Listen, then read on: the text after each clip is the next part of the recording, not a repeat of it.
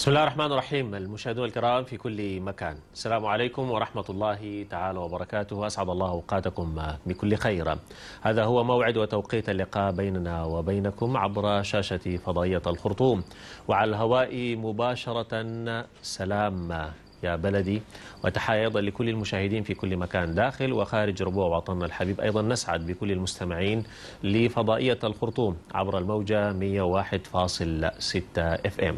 سلام يا بلدي وكلنا نسعد ونحتفي ونحتفل بسلام السودان ونتمنى أن يعم الأمن والاستقرار كافة ربوع بلادي الحبيبة. الأجواء بشرق السودان قبل وعقب توقيع على اتفاقية السلام جعلت حتى التعليق على الأحداث السياسية صعبة للغاية. فالحديث حول مسار الشرق بمفاوضات جوبا هو محل استقطاب كثير من الآراء والمحاور السياسية. رغم ذلك ليس ليس ثمة مفر من الحديث حول مسار شرق السودان وكافة مسارات اتفاق جوبا. وأسعد الحديث حول مسار شرق السودان.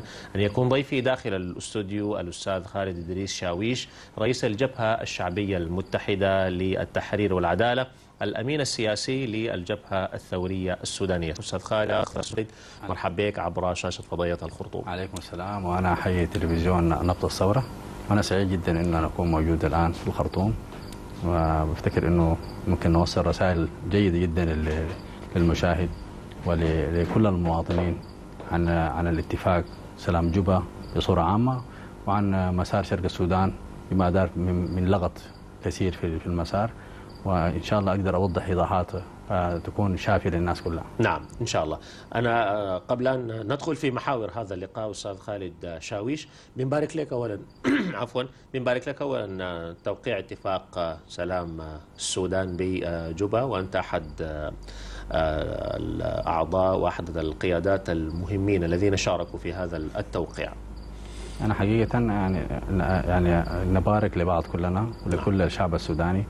وأنا أفتكر أنه السلام جوبا هو سلام سوداني خالص بوساطة جنوبية وكان عنده طعم خاص وكان هو عبارة عن تحاور وأخذ فترة من الزمن في عقبات واجهت الاتفاق منها جانحة كوفيد 19 كورونا.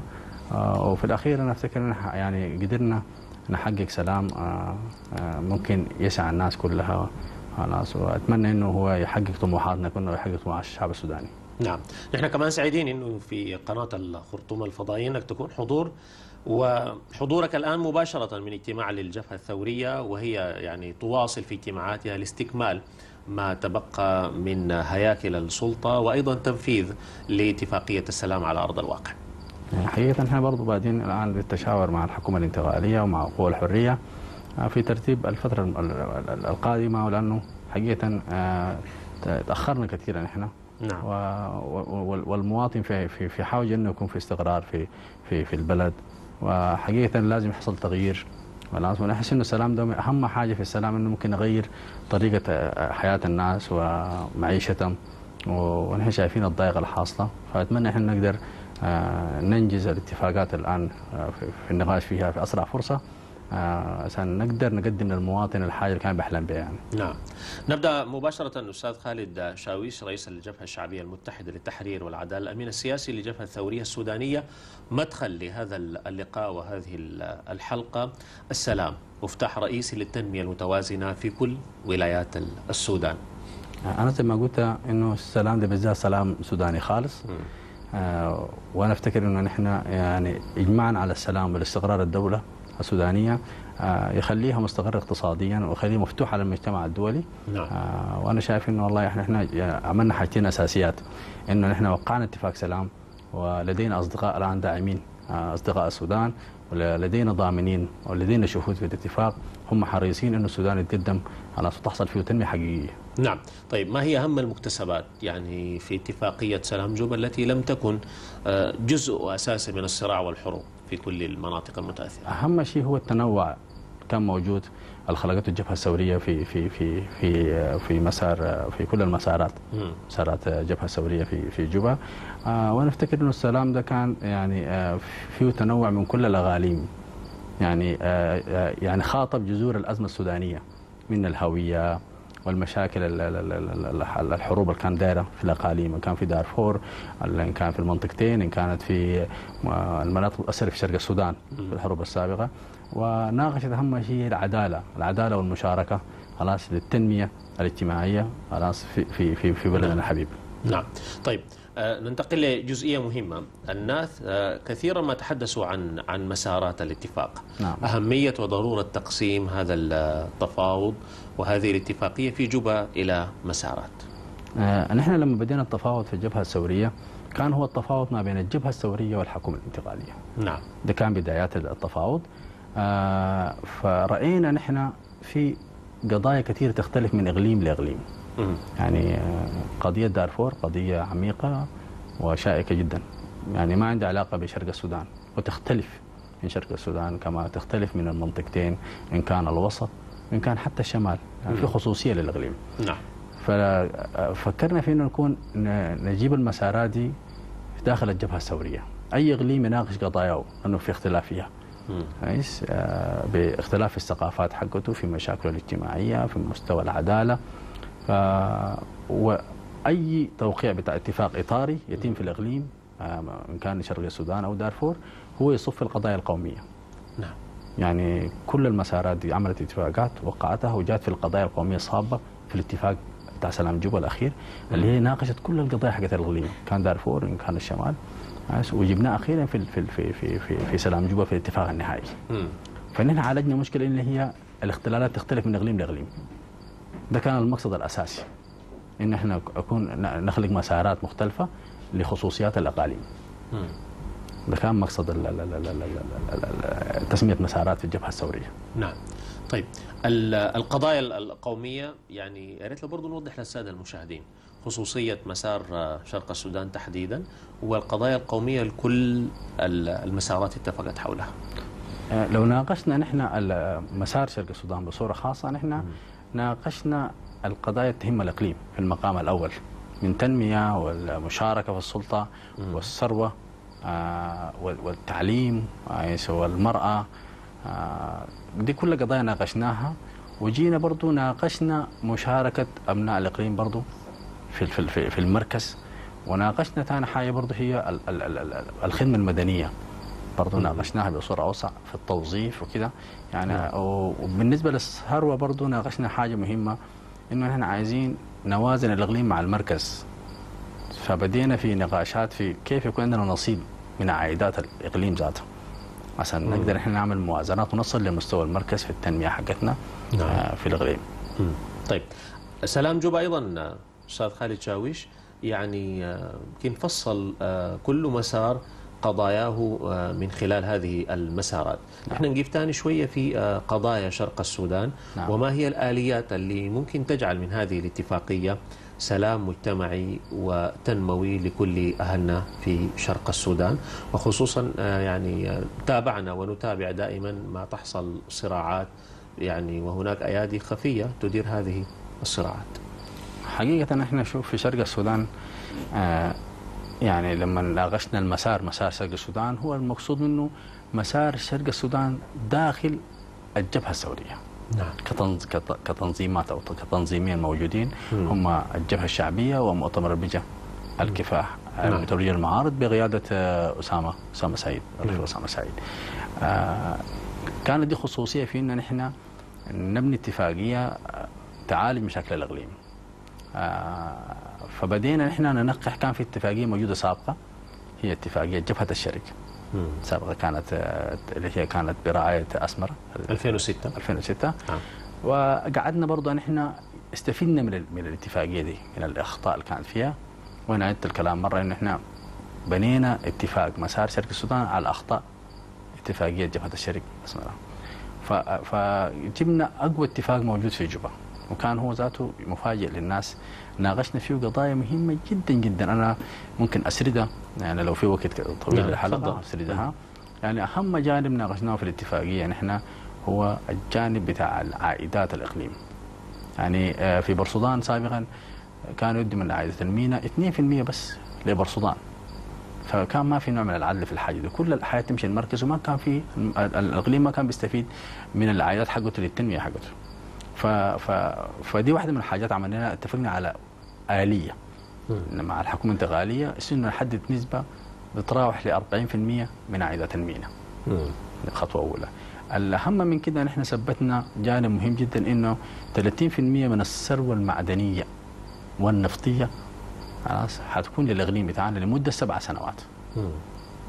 يعني لدارفور 10 سنوات و40% لشرق الصون طلعت ال- هي 3 30% وسبع سنوات عشان يكون في بالانس يعني. متوا... متوا... يعني الاغاني تكون مع بعض في التنمية. ده جانب. ثاني أهم جانب في الاتفاقية برضو هو جانب الخدمة المدنية. نحن آه، وقعنا التزمت الحكومة. آه، بنسبة 14% في الخدمة المدنية. نعم. دي حتكون أنا أفتكر إنه إحنا ما عندنا ما عندنا. الناس اللي حياخذوا ال 14% دي ذات يعني. ده مكسب كبير جدا جدا. افتكر إن إحنا يعني إحنا يعني في الناس مهتمة دائما بالعمل السياسي اللي هو إنك تمشي وزير ولا تمشي معتمد ولا والي. وأنا أفتكر إنه في وظائف مهمة جدا في السلك الدبلوماسي. امناء الأقليم برضه ما كانوا مشاركين فيها. في حصلوا في في في في الجيش في الشرطة. 14% دي حتكون لأبناء الأقليم بدون استثناء لكل الناس يعني. ال- الاهم من كده برضه أن إحنا أصرينا إنه يكون عندنا مشاركة في السلطة مم. في الإقليم كل الاتفاقات السابقة كانت بتكون مطلبية دارين مستشفى شارع زلط عايزين مركز صحي أنا أفتكر دي حقوق أساسية تعمل الدولة السودانية طالبنا بإنه إحنا نكون مشاركين في السلطة وجبنا نسبة حق 30% في المشاركة في. الجهاز التنفيذي والتشريعي مم. دي خصصناها نحن ل- ل- ل- ل- للتنظي- التنظيمين الاثنين موجودين في الجبهة الثورية. وخلينا هامش بتاع بتاع 70% باتفاق مع مع الحكومة الانتقالية لباقي المكونات الأخرى. نعم. اللي هي ال- ال- اللي هي ما جزء في الجبهة الثورية. عشان يكون في نوع من العدالة في المشاركة. يعني الأحزاب السياسية الموجودة المنظمات المجتمع المدني. ديل كلهم إحنا تناقشنا مع قوى الحرية. حتكون في نسبة حقت 70% الآن موجودة في في أورقة ال- الحكومة. الانتقالية أساس إنه يكون هم جزء من مشاركين. ونحن ذاتنا برضه في النسبة حقتنا حنشرك الآخرين معانا. لأنه في النهاية بفتكر إنه لو أشركت أكبر كمية من من المجموعات أنت حتخلق التنوع حيكون في استقرار في الإقليم. أي أي مكون حيلقى نفسه في المشاركة. ده اهم مبدأ نحن الآن ماشيين عليه. ونحن أي مكون يشوف نفسه في في المشاركة ويشوف نفسه في التغيير الحاصل. نعم. طيب يعني كيف يمكن أن نجعل من اتفاقية سلام جوبا يعني سلام مجتمعي وتنموي لكل أهل شرق السودان وخصوصا يعني هذا الاتفاق هو جهد بشري خالص ومن الطبيعة لا يتفق عليه جميع الناس. هناك أيضا رافضين لاتفاق جوبا وتحديدا في مسار شرق السودان. نعم. وأيضا يعني بالضرورة إشراك الجميع في التخطيط وتحديد الاحتياجات التنموية في تنفيذها. أكيد شوف أي أي يعني أي اتفاق حتى نحن بشر نخطئ يعني نعم. يكون في أخطاء ونحن يعني عندنا مسؤولية أخلاقية تجاه السودان وتجاه منطقتنا أساسا. الجنين هو الإقليم إقليم شرق السودان وأنا احب دائما دار اتكلم بالسودان لأنه أنت في النهاية لما تحطني في إطار الاطار بتاع شرق السودان بكون أنا حددت ال- ال- ال- المقاسي يعني فما بحب نعم. أتكلم عن الحاجة دي فأتمنى أتكلم عن السودان الكبيرة ليس نعم. الناس كلها آه نحن يعني طرحنا قيام مؤتمر تشاوري. ده كان فكرتنا. أنا ورفيقي إسامة سعيد. وحددنا له هو مذكور في في البند آه 32 نعم. من الاتفاقية. إنه قيام مؤتمر لأهل الشرق. يعني تكون آه، مشاركته من الحكومة الانتقالية ومسار شرق السودان الجبهة الثورية والإدارات الأهلية والمجتمع المدني وقوى إعلان الحرية. المؤتمر ده دوره شنو؟ المؤتمر ده نصينا له نص واضح في الاتفاقية وانه هو مكمل للاتفاق. أي حاجة ما قدرنا نذكرها في الاتفاقية نحن يكملها هو ملزم للدولة السودانية واتفقنا على الكلام ده. طيب أنا بشوف إنه الحل الأساسي لمشكلة السودان بتبقى في حاجتين أساسيات. في المؤتمر التشاوري حيعقد الآن قريب يعني بعد إحنا تأخرنا لأنه حصل ديلي في المصفوفة يعني تأخير في المصفوفة فحنقوم نح- الآن نعدل المصفوفه من أول جديد نعيد صياغتها. فانا أتوقع إنه المؤتمر ده ممكن يعني يعني يقام في خلال شهر أو يعني أقل من شهر. يعني حندعو له كل المكونات. طيب أنا شايفه ده هو حل لأنه نحن لما ذكرت لك إنه نحن برضه حنساعد المكونات الموجودة في الشرق السودان بدون استثناء لأنه عندنا تجربة تفاوضية في جوبا في إنه ننتزع لهم خلاص بعض الحقوق في المشاركة. يعني عشان يشوفوا نفسهم معانا ذات في المشاركة بالنسبة حقت ال 70% ذكرت أنا. ونحن برضو يعني خفنا من حاجة إنه ده تاريخ التاريخ يسجل. لو ان إحنا قفلنا الاتفاقية وقعناها وقلنا نحن نمثل شرق السودان الكلام ده خطأ. نحن ما نمثل شرق السودان. ده حقيقة لازم يعرفوها الناس. ان إحنا نمثل تنظيمات من شرق السودان داخل الجبهة الثورية. فتفسير الناس للمسار وإنه إحنا ما نمثل الشرق وده يمثل الشرق ما ما في حد ينصب نفسه على أشخاص. نحن أتمنى نحن ماشيين. يعني أنا سعيد اني أشوف التحول الديمقراطي. إنه هو متعسر لكن أتمنى إنه يكتمل التحول الديمقراطي عشان ننتقل إحنا للرفاهية للمواطن بتاع المنطقة وللم- وللمواطن السوداني بصورة عامة. فلما نجي المؤتمر ده نحن حنساعد ال- ال- المكونات الموجودة وحنساعد أهلنا في شرق السودان في إنه نجيب لهم مكاسب إضافية من المؤتمر.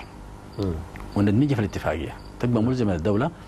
بعد ذاك بنقبل إحنا كده مثلنا كل المكونات وحلينا الاشكاليه برضه نحن محتاجين نساعد المنطقة في رتق النسيج الاجتماعي. الفترة اللي فاتت واجهت مشاكل ذكرتها أنت في في النهاية. وأنا أفتكر إنه في مجموعات في في في أشخاص محددين هم يعني يعني أججوا المسألة القبلية.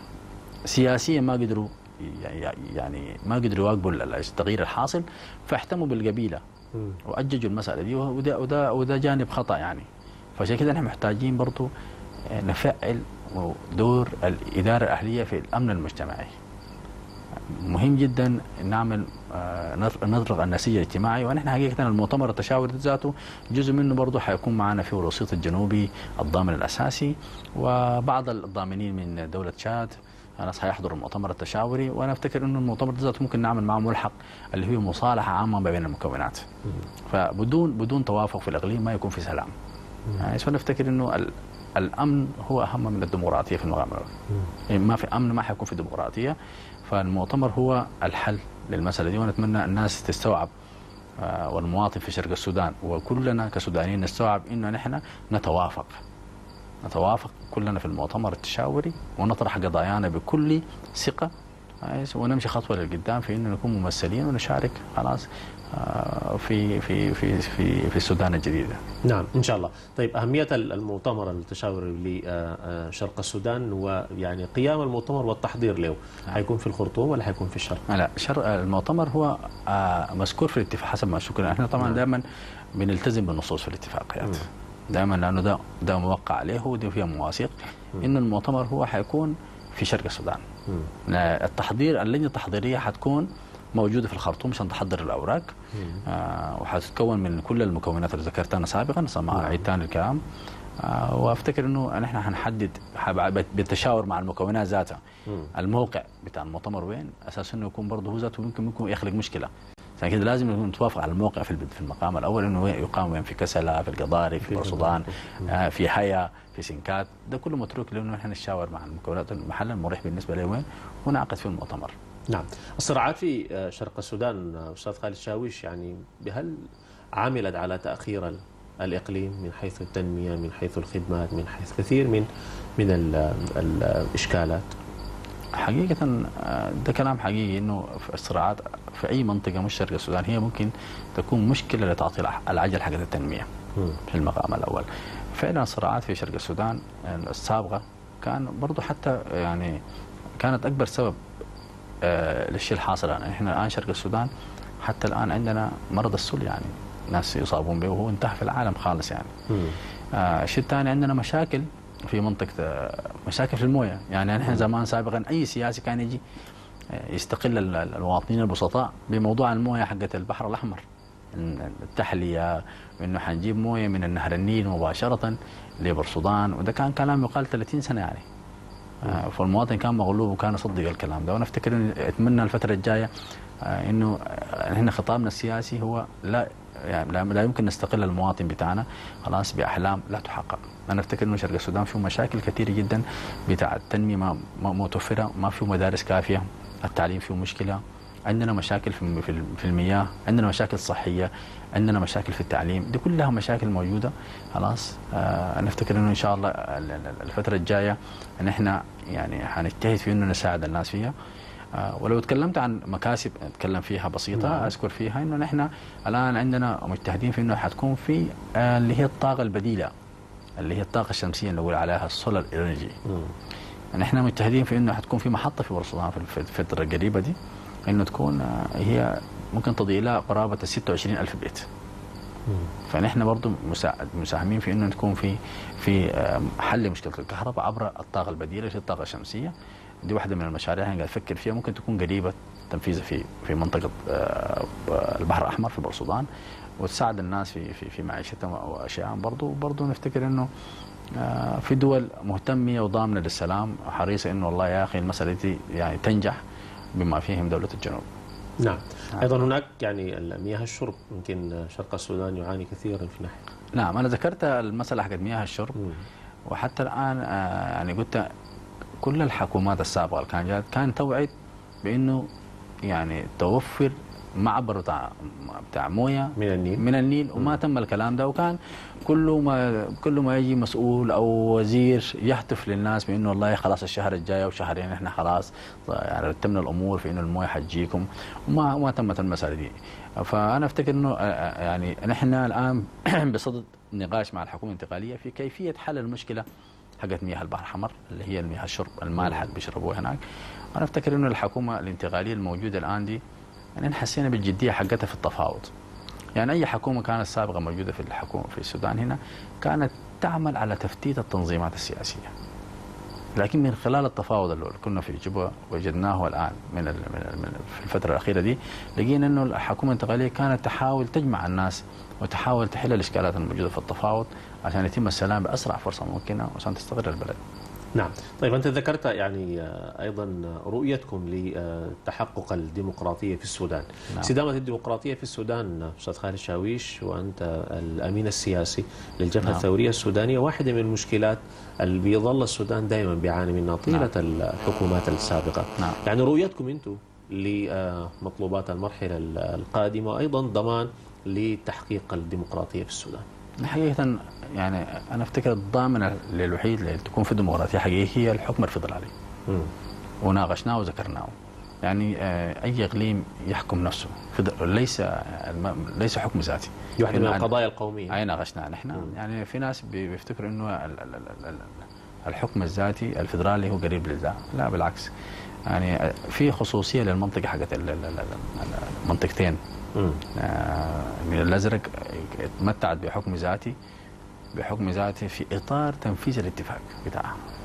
عشان الشعب السوداني برضه يفهم المسألة دي الحكم الذاتي تم ذكره في الاتفاقية آه، بتاع سلام جوبا الخاص بالمنطقتين هو مزيد من الصلاحيات لتنفيذ الاتفاق. وبرضه نحن ذكرنا إنه الفدراليه هي حتحل الإشكالية حقت التحول الديمقراطي في السودان إنه نحن كاقاليم أو ك يعني كإقليم الشرق أو وسط أو مشابه. نحكم نفسنا خلاص بنفسنا خلاص. ويكون المركز هو المراقب الجسم المراقب على تنفيذ كل الأشياء الموجودة في الاقاليم أنا أفتكر الفدراليه هي الحل للديمقراطية الحقيقية. وفي دول كثيرة عاملة الحاجات دي يعني. نعم طيب نتوقف يعني قليلا في الحكم الذاتي والحكم الفدرالي نعم. يعني برضو توضيح للسادة المشاهدين نعم يعني في كثير من الناس بيسمعوا والله الحكم الذاتي معناته يعني حيكون آه،. منفصلين ما لهم يعني نعم. أي علاقة تربطهم بالمركز أو حتى نعم. ببقية الأقاليم يعني لا شوف هنا يختلف الحياة دي. الحكم الذاتي ذكرناه نحن مم. يعني أنا أوضحه للمواطن السوداني نعم. شا- شاهد يفهموه إنه هو مزيد من الصلاحيات في تنفيذ الاتفاق يعني أنا لما نسمع حكم ذاتي معناه أنت والله خلاص ماشي الانفصال. نعم. آه، فنحن المسألة دي فاهمينها كويس.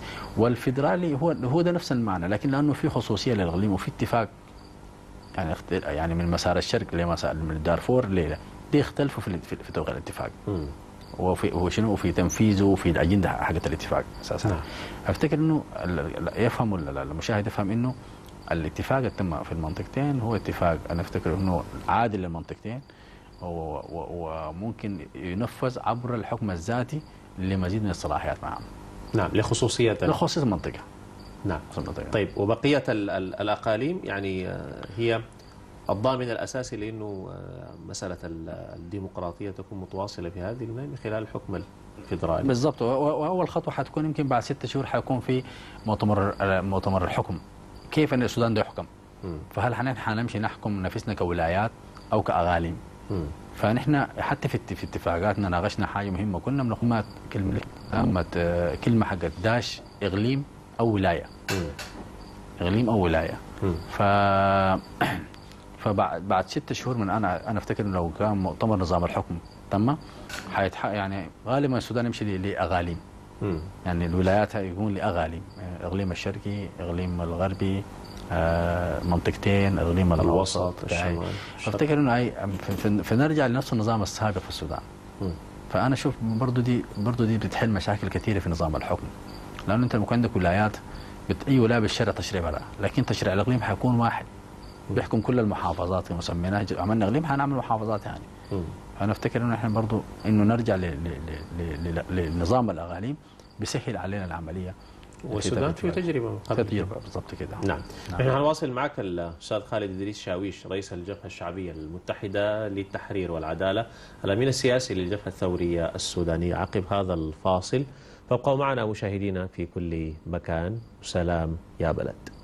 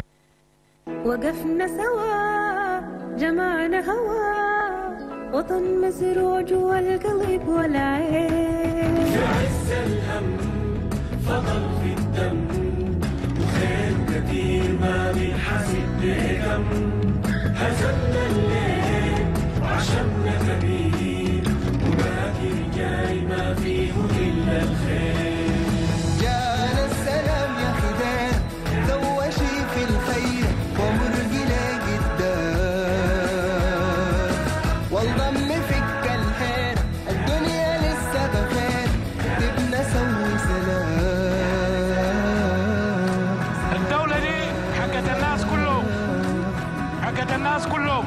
قلب الحروب خربان ما فيه زول كسبان. يا أخي السلام ده جميل. يا أخي السلام ده جميل. يستاهل السودان قرب علينا زمان.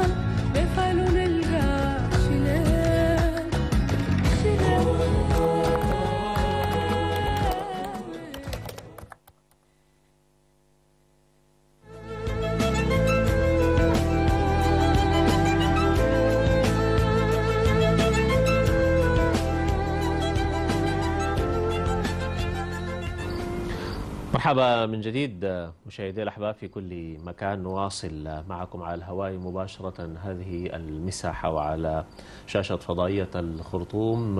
يا بلدي سلام. مع الأستاذ خالد إدريس شاويش رئيس الجبهة الشعبية المتحدة للتحرير والعدالة الأمين السياسي للجبهة الثورية السودانية. مرحبا بك من جديد أستاذ خالد.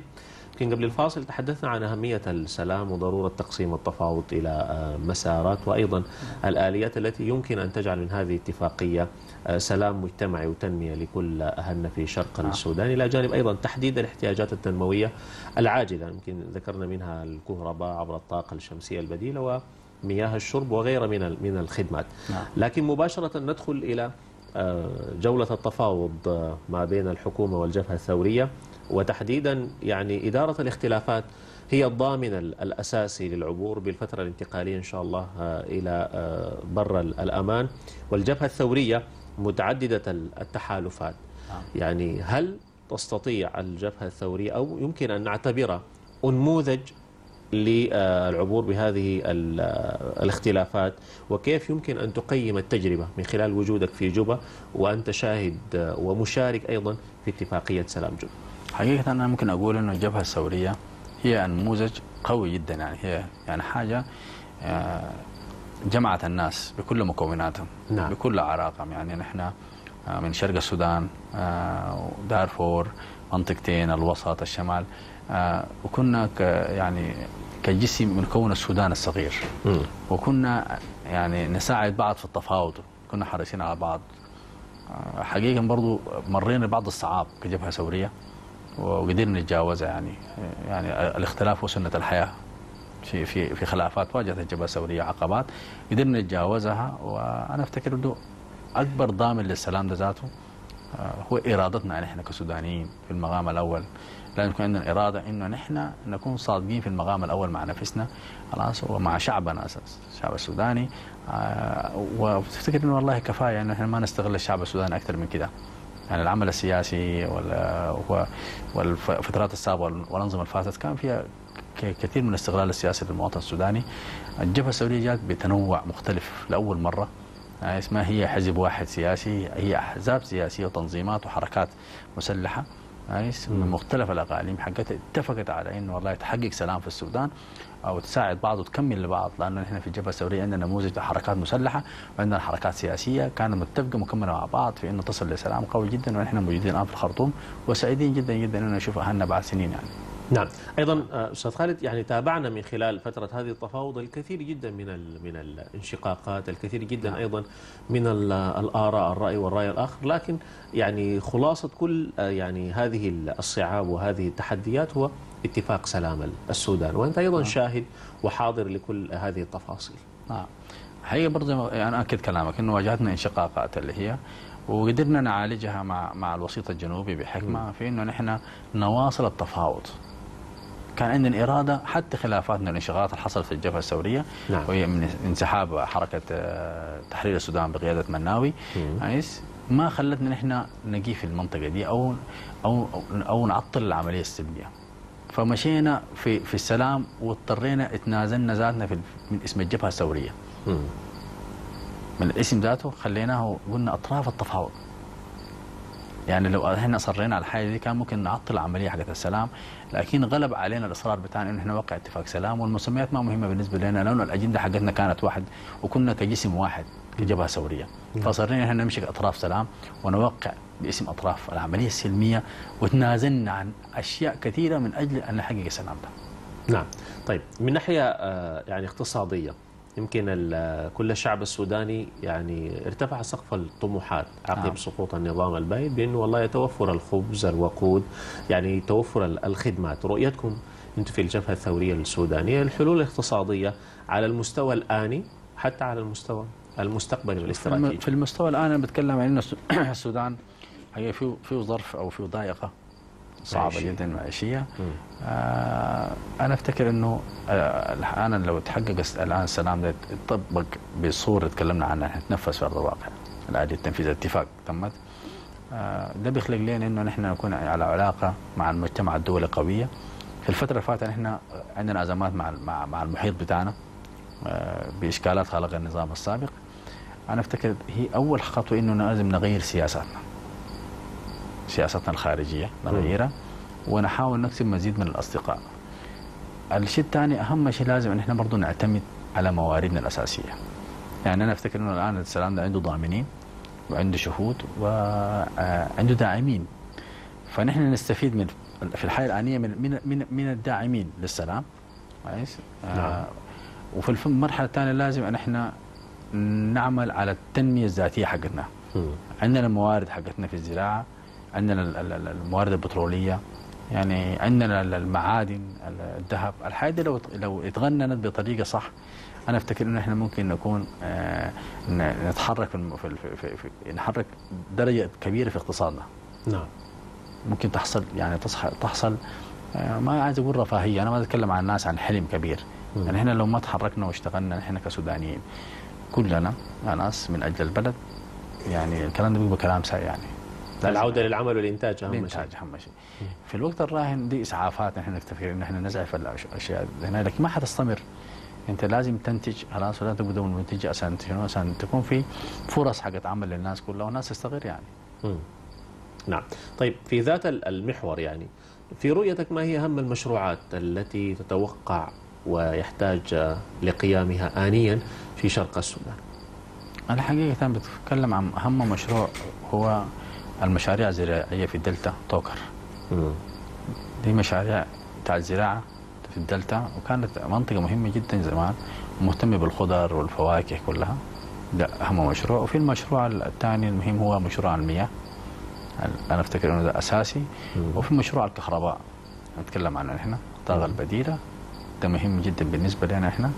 وأنا أفتكر برضو أهم جانب بالنسبة لنا هو برضو المسألة حقت ال- ال- ال- ال- التجارة.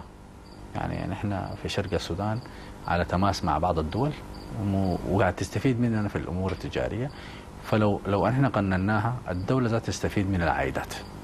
يعني نحن عندنا مشاكل في في في في كسلة ومشاكل حق التهريب الأشياء دي لو إحنا قنناها قانونيا نستفيد من الضريبة ونستفيد من من العائدات لصندوق الدولة يعني.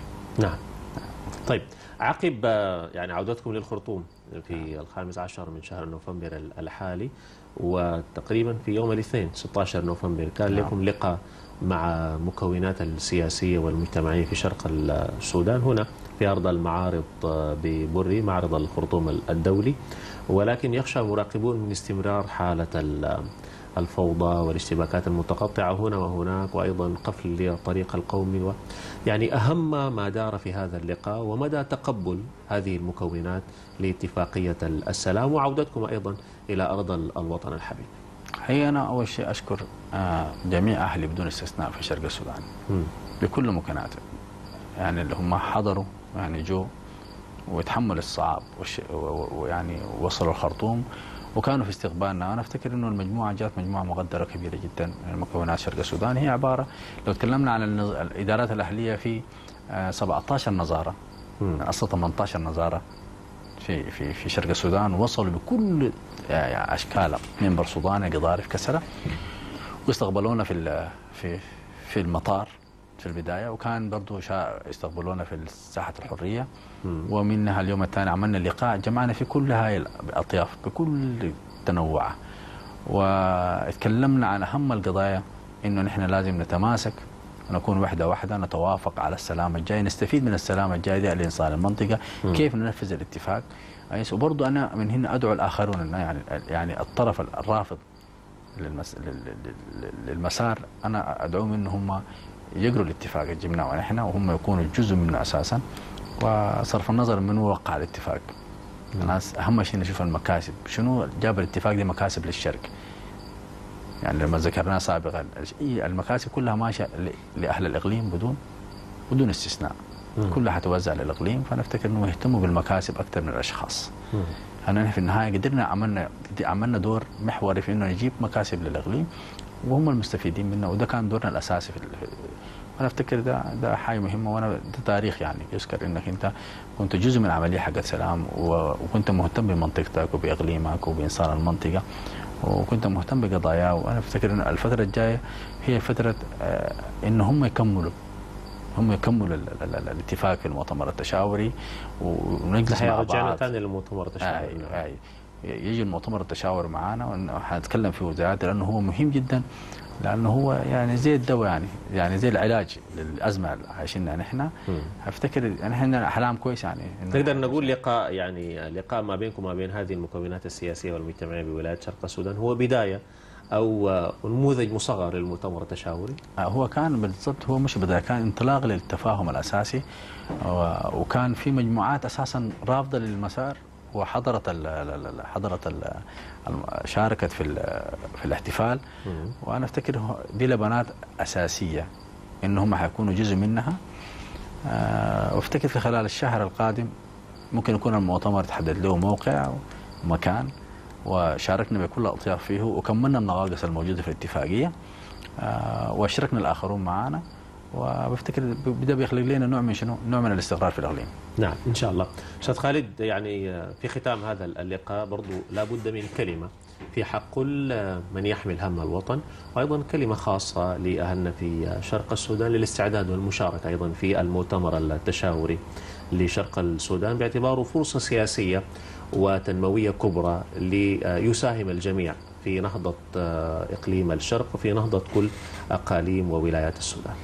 أنا كلمتي لشرق السودان ولمواطنين شرق السودان إنه نحن من حقنا نشارك في السلطة في شرق السودان في المشاركة بصورة عامة وأنا أتمنى إنه هم يلفظوا القب القبلية لأنه أنا أفتكر إنه نحن يعني لو عايزين نكون جزء من السودان الكبير في الخرطوم لا يمكن نجيب القبيلة حقتنا.